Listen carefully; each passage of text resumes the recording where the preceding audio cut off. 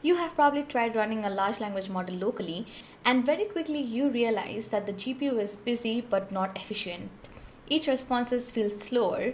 You check NVIDIA SMI and you figure out that it's only using a fraction of the GPU memory. Serving a large language model efficiently becomes a lot more complicated for many users than just running a model locally for intermittent inference. That is because a lot of these inference setups they aren't built for continued responses or longer context windows.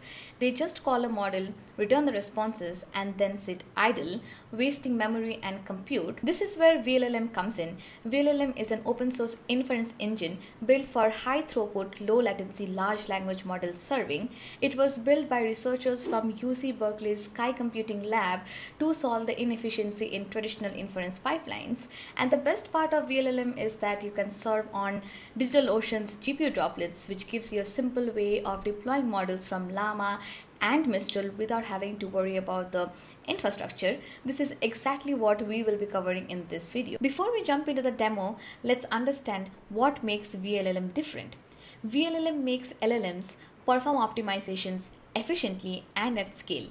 Four things that work for it under the hood are paged attention, continuous dynamic batching, hardware optimized execution, and OpenAI compatible API. Let's understand what each of these terms mean. In paged attention, instead of storing massive attention caches in one continuous block of GPU memory, VLLM splits them into pages, like how an operating system manages RAM. This paging system lets it reuse memory efficiently, enabling longer prompts or more concurrent users without running out of VRAM. For continuous dynamic batching, Rather than waiting for a full batch of inputs, VLLM continuously merges incoming requests in real time. This means your CPU never sits idle and latency drops even when many users are sending prompts at once. Third, VLLM uses CUDA graphics, efficient attention kernels like flash attention and quantization to make every GPU cycle count, which makes it perfect for deployment on DigitalOcean GPUs. And finally, it exposes endpoints like v1 slash completions or v1 slash chat completions. So many apps that are built for OpenAI API can instantly connect to your own VLLM server with no code changes. Let's move on to seeing a demo of how you can host your own inference server. And the first step to that is to create a GPU droplet on DigitalOcean. I have already logged into our control panel and from here I'll click on create GPU droplet. Once you do that, you have the option to choose from either NVIDIA's GPUs or AMD's GPUs, depending on uh, the availability. Choose the one that best suits your needs, and you can also choose the data center that's the nearest to you. Followed by that, you need to add your SSH key. There's documentation that I've added in the description below that you can follow to add your own SSH key. And then you just need to give it a name or follow the name that it has input by default and just click on create GPU droplet and in just a few minutes a GPU droplet will be created for you. The GPU droplet is up and running and we are using an NVIDIA GPU droplet for this demo. You can either SSH into the droplet using the public IP that is mentioned here or you can also use the web console and connect to it. For this demo I will be using the web console and once we are here let's further understand what configuration of GPU we have for that, we will be using the NVIDIA SMI command. And as you can see, it's using an NVIDIA H200. Just as a note, you can also run VLLM on lower end hardware specifications. And to install VLLM, all that we need to do now is just to create a virtual environment and pip install VLLM. So let's quickly write the commands for that. It is sudo apt install hyphen y python 3 virtual environment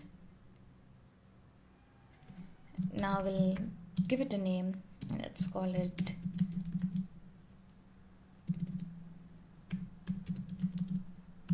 test environment. The next step is to activate the virtual environment. So for that we'll be using the command source test env bin activate. Okay that's all done the next step is to just install VLLM using the command pip install VLLM And when you click on enter, this will kickstart the process of installing VLLM on your local machine. As you can see, VLLM has already been installed. The next step is to run a small model on it. For this one, we will be using the Mistral 7B instruct model. But before we press enter on the command that I have already entered, a little bit of information on why we are using the last command is because VLLM by default in it runs on localhost which means that it is only accessible through your droplet. But the moment you want to access it let's say for your from your local computer you won't be able to do that. But we need to bind it to all the inference servers which is why we're using the exact command that we have here today. And now that we have it already so the next step is to just click on enter and wait for it to get installed the command has successfully run and what's happening here is VLLM has loaded and downloaded the Mistral model on GPU's memory and it has also launched a local API server on port 8000 which we will be testing on our local environment in a few minutes. So we're here on the terminal and I'll add the curl command where I am entering the droplet through the IP where I'm calling the model that we just entered. And then I'm asking a question about why VLLM is faster than regular inference. And after I have clicked enter it gives me the response of why VLLM is faster and that's how you can very easily and simply host your own inference server using VLLM on DigitalOcean's GPU droplets. And there you have it, your own OpenAI compatible inference server running on DigitalOcean's GPU droplets. VLLM handles the hard parts for you like batching, caching, scheduling and memory management so that you can focus on building. And with DigitalOcean's ready-made platform, it helps you deploy and scale models. Together, they provide a very solid foundation for building and scaling production ready AI applications.